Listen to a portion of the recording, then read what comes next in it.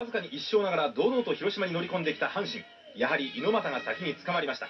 3回内野安打の山田を2塁に進めた途端山崎に粘られた挙句のフォアボール。ここでまず前田がセンター前へ運んで広島思惑通りの先制点を入れれば今度は野村がレフト線を破ります。相手が川口でこの2点差。今の阪神にとっては致命的かとも思われましたがどっこい4回の表突如濃厚癖が顔を覗かせた川口はノーアウト2塁1塁のピンチ。まあ、いわば敵に塩を送られた形の阪神。これをものにしないわけにはいきません。早速岡田が反撃のタイムリーヒット。続けてオマリーも左中間へ。あっという間に追いついて久々に生き上がる阪神ベンチ。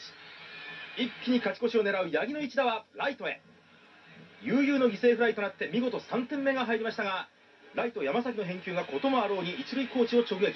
そしてこれまた都合よくボールが跳ねて進塁を狙ったランナータッチアウト。そうそういいことは続きません。ここから一点ずるずると不運に引き込まれていくのがここまでの阪神のパターンでしたが今日は違いました。1点差を保って迎えた9回表オマリーが紀藤に目の覚める一発をお見舞いします。